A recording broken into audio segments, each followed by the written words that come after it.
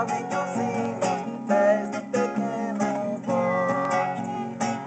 navegando pelo rio quando jacaré se aproxima. O pequeno bote do índios, quase, quase.